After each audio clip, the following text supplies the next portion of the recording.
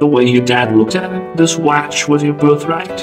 He'd be damned if any slope's gonna put their greasy yellow hands on this boy's birthright. So he hid it in the one place he knew he could hide something his ass. Five long years he wore this watch up his ass.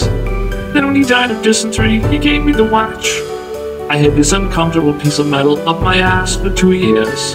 Then, after seven years, I was sent home to my family. And now, little man, I give the watch to you up his ass. Then when he died of dysentery, he gave me the watch.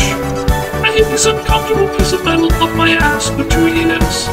Then, after seven years, I was sent home to my family.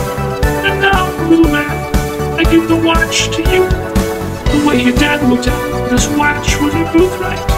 He'd be damned if any slopes could put them greasy yellow hands on this boy's birthright.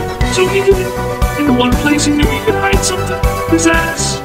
Five long years he wore this watch